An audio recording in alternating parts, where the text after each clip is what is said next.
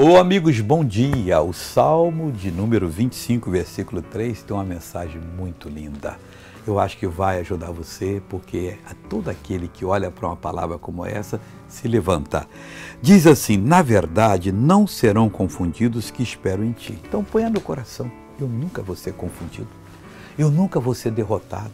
Eu nunca vou perder uma batalha, porque eu espero no Senhor. Mas espera mesmo.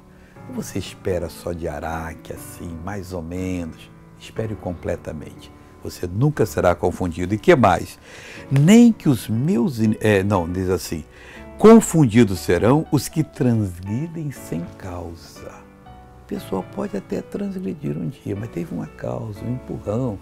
Ela não, não foi culpada.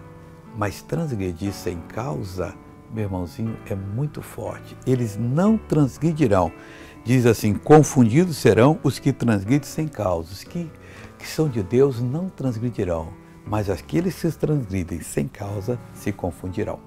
Veja uma pessoa que foi abençoada, eu já volto. O que, que aconteceu? Tem hernia de disco e bico de papagaio. Quanto tempo? Ah, já tem muitos anos. Quantos? Ah, mais ou menos? Mais uns oito anos por aí. Uns oito anos. O que, que a senhora não fazia? Ah, não punha nem descia o braço.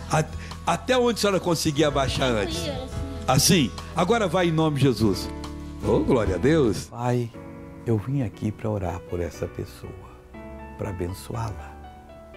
Para dizer, ó Deus, em nome de Jesus, seja liberto. Muito abençoado. Eu quebro todo o poder do inimigo nessa vida.